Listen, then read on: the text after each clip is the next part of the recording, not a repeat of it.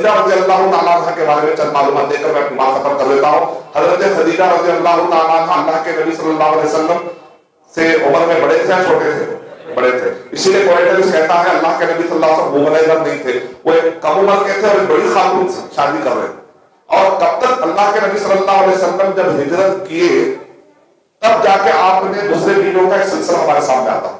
यानी इसका मतलब क्या निकला? अल्लाह के नबी सल्लल्लाहु अलैहि वसल्लम की जब उम्र मुबारक 25 की थी, तब अगर आपने शादी की तो हिजरत कब हुई फिर? 53 तो जब तक अल्लाह के नबी सल्लल्लाहु अलैहि वसल्लम, जब तक हज़रत खदीजा रज़ी अल्लाह तआला मौजूद थे, आपने किसी और से शादी की? नहीं की। जब खदीजा रज़ी अल्लाह तआला का इंतकाल हो गया तो साल का नाम? अल्लाह के नबी सल्लल्लाहु अलैहि वसल्लम ने क्या दिया, आमुल हुज्न गम का साल। लेकिन ये ऐसा नहीं है। ये गलत है अल्लाह के नबी सल्लल्लाहु अलैहि वसल्लम ने ऐसा नहीं दिया। बाद में मौरखीन ने दिया। लेकिन लोग मशहूर कर दिए कि भाई, क्योंकि इस साल में अबू तालिब का इंतकाल हुआ, इसी साल चूँकि खदीजा रज़ी अल्लाह तआला का इंतकाल हुआ तो लिहाजा इसको आमुल हुज्न अल्लाह के नबी सल्लल्लाहु अलैहि वसल्लम ने दिया? नहीं। इसीलिए क्या करते लोग? आदत पड़ गई लोगों को। ये मेरा आमुल हुज्न है। अरे बिल्कुल मैं एमसेट में फेल हो गया। अरे आमुल हुज्न कि अल्लाह के नबी सल्लल्लाहु अलैहि वसल्लम पूरे साल को का साल ऐसा बोल देते ऐसा प्रूफ ही नहीं। पहले प्रूफ साबित करिए, बाद में आप आगे बढ़े तो हज़रत खदीजा रज़ी अल्लाह तआला को अल्लाह के नबी सल्लल्लाहु अलैहि वसल्लम बहुत चाहते थे। उनकी चाहत के अलावा ये कि? जब तक आप थे आप किसी की तरफ़ इल्तिफात भी नहीं किया आपने शादी तक भी नहीं की। बल्कि हज़रत आयशा रज़ी अल्लाह तआला कहती है, अल्लाह के नबी सल्लल्लाहु अलैहि वसल्लम इंतकाल के बाद इतना ज़िक्र करते, इतना ज़िक्र करते, जैसा सौपनों से हमको गैरत आती, वैसा हज़रत खदीजा रज़ी अल्लाह तआला से हमको गैरत आती थी।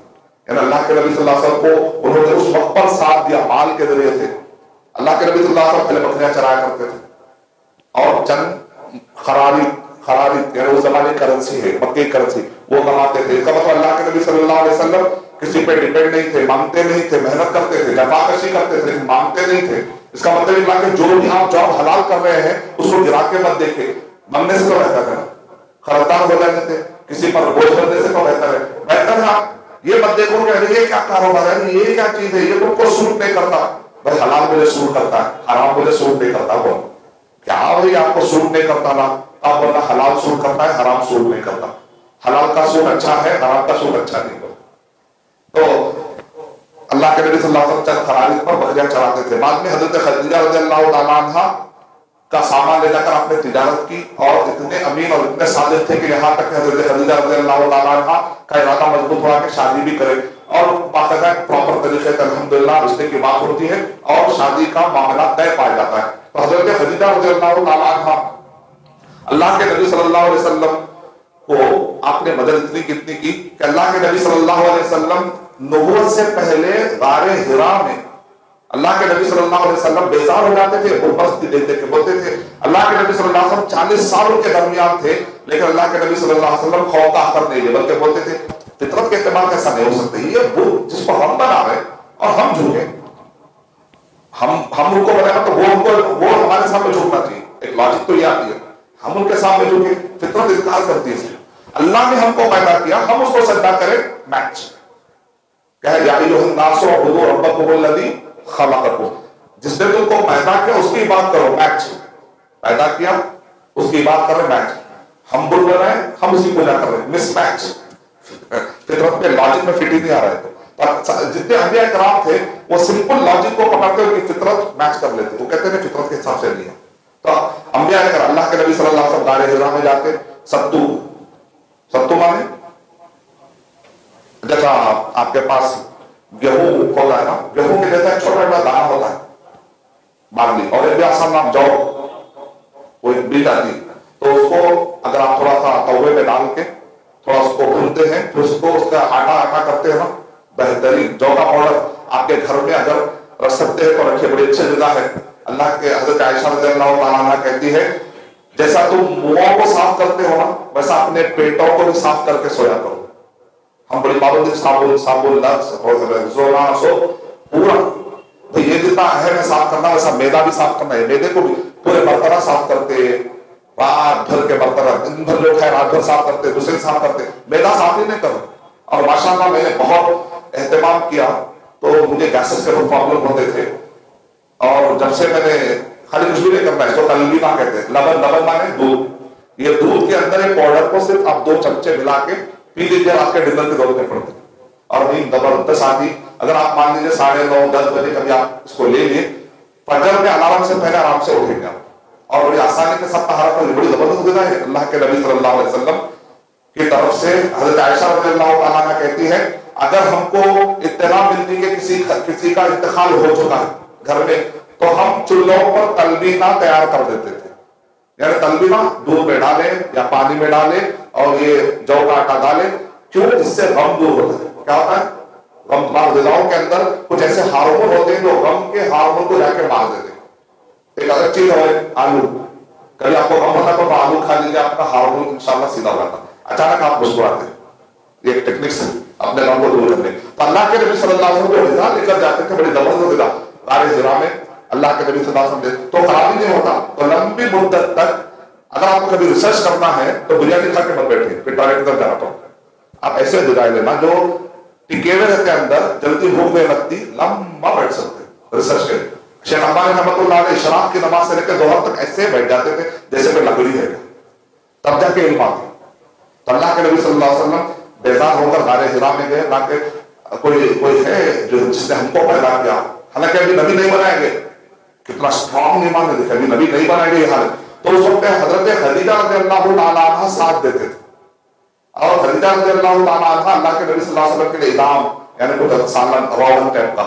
और कुछ खाने के लिए, जमाने की भी खुश थी, वो लेकर जाते थे। अब मैं जाकर देखा, ये गारे हिरा पे वो खातून चढ़ी कैसे हुई? लेकिन शौहर की मोहब्बत, शौहर को चाहने वाली, शौहर की रजा में, अपने रजा शौहर की खुशी में, अपनी खुशी समझने वाली, शौहर को काम पसंद है, वहाँ रहना तो साथ दे रही थी, माशाल्लाह।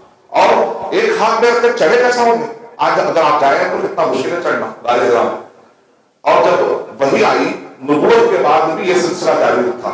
सही बुखारी के अंदर है अल्लाह के नबी सल्लल्लाहु अलैहि वसल्लम, जब नबी बनाए गए अल्लाह के नबी सल्लल्लाहु अलैहि वसल्लम तो वो रिवायत में है अल्लाह के नबी सल्लल्लाहु अलैहि वसल्लम को खातून आ रही है खुद और एक हाथ में इनाम लेकर, इनाम यानी सालन लेकर। आप कह दीजिए कि अल्लाह उनको सलाम सुनाता है और जन्नत की खुशखबरी देता है। और एक ऐसे घर की खुशखबरी देता है जो अखंड मोती है, एक रिवायत, एक माने के मुताबिक। मुहदसिन कहते हैं हसबुल के दो माने, लकड़ी। अब लकड़ी का लकड़ी का महल, क्योंकि अरब के लोग लकड़ी की बड़ी अहमियत हमारे पास होता था लकड़ी की ज़्यादा नहीं, लकड़ियाँ बहुत है, लकड़ी का टाप भी बहुत है।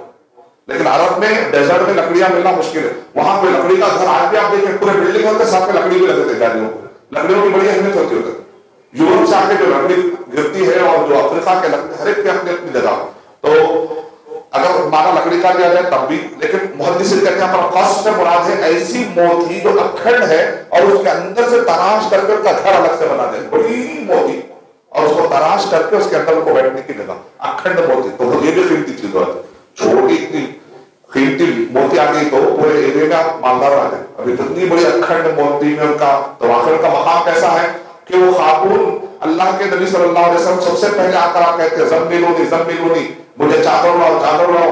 क्योंकि मैं अपने इन्नी खशी को अला नफ्स हलाक, मैं अपने आप पर हलाकत महसूस करता हूँ। तो उस वक्त हज़रत खदीजा रज़ी अल्लाह तआला तसल्ली दे अगर आज के हमारे बीवियाँ हैं तो क्या बोलती? मैं कब से बोल थी, पहाड़ों पे मत जाओ, पहाड़ों पे मत जाओ। अब गए आके बोल रहे, चादर उड़ाओ, चादर हमारे माँ ऐसी रहती मुसीबत के ऊपर तसल्ली देना, अच्छी बीवी की है। और इसी तरह बीवी अगर मुसीबत में है तो शौहर क्या करना? मैं बिज़ी हूँ व्हाट्सएप पे होने बोला। मतलब बंद करके क्या हुआ मेरे बोल के गौर से सुनो तो कल तो सुनते क्या हुआ ठीक बोल के वरना और व्हाट्सएप देखते बैठा थे। आजकल का भी सुन रहे थे दूसरे उनके व्हाट्सएप पे, उनके व्हाट्सएप पे, वो अपना उन्होंने वो व्हाट्सएप पे कर वैसा नहीं हो सकता। वैसा नहीं सकता। सब बंद करके सुनना पड़े। हज़रत खदीजा रज़ी अल्लाह ताला अन्हा, जैसे आते पहले उनको उनको आसानी आसानी देते हैं। उसके बाद क्या कहते हैं? अल्लाह की कसम, अल्लाह ताला आपको ऐसा जलील नहीं करेगा। अल्लाह ताला आपको ऐसा बेस नहीं करेगा। क्यों? इस आपको मिसाल दे, तसल्ली दे पुराने अच्छे याद रहे क्योंकि अल्लाह के नबी सल्लल्लाहु अलैहि वसल्लम आप जिनारजमी करते हैं। और अल्लाह के नबी सल्लल्लाहु अलैहि वसल्लम हदीता और आप सच बोलते हैं। अल्लाह के नबी सल्लल्लाहु अलैहि वसल्लम, तहमिलुल कल्ला। और आप क्या करते हैं? बोल उठा देते हैं लोगों का। और वतफर दैफा और आप क्या करते हैं? मेहमान आता है तो मेहमान नवाजी करते हैं। वो तुम सिमुल मालूम नहीं कमाने वाले को कमाने के लायक बनाते हैं। वो तोड़ी वाला नवाई बिलहक मुसीबतें आती है तो अल्लाह के नबी सल्लल्लाहु अलैहि वसल्लम आप साथ देते हैं। लोगों को फिर मदद करते हैं। तो ये छह सिफतें सही मुस्लिम के अंदर बताई सही बुखारी के अंदर पाँच सिफतें बताई गई।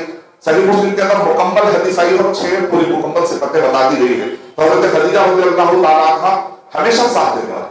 हमें नबूवत से पहले भी साथ देने वाली खातून नबूवत के वक्त भी साथ देने वाली। नबूवत के बाद भी जितने मुसीबतें जितने परेशानियाँ आई, हज़रत खदीजा रज़ी अल्लाह हमेशा साथ दिया करती थी, ये हमारी माँ है, हम एहतराम से कहते हैं कि वो हमारी माँ है।